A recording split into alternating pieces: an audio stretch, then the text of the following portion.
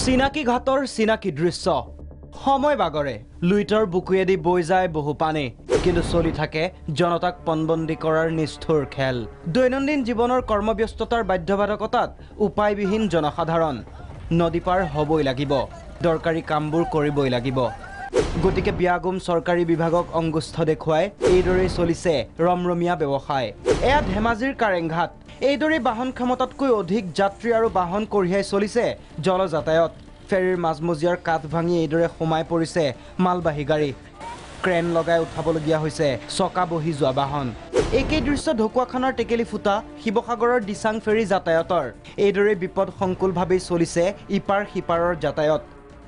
আভ্যন্তৰীণ জল পৰিবহণ বিভাগ নিৰুদ্বেগ নিস্পৃহ। কিন্তু ইয়াত দেখিছোঁ পেচেঞ্জাৰৰ যোনটো এটা ছিকিউৰিটি থাকিব লাগে এই ছিকিউৰিটি আমি ইয়াত দেখিবলৈ পোৱা নাই।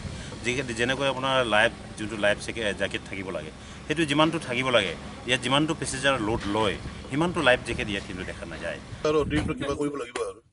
প্ৰশাসনে যাতে গুৰুত্ব দিব লাগিব।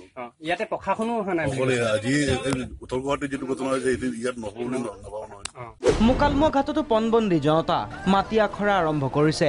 বিভাগে বিলাইছে লাইফ বেল্ট লাইফ জেকেট। কিন্তু যেন লটাৰী খেলহে শ শ যাত্ৰী কাৰ ভাগত কি পৰে সৌভাগ্যৰ কথা।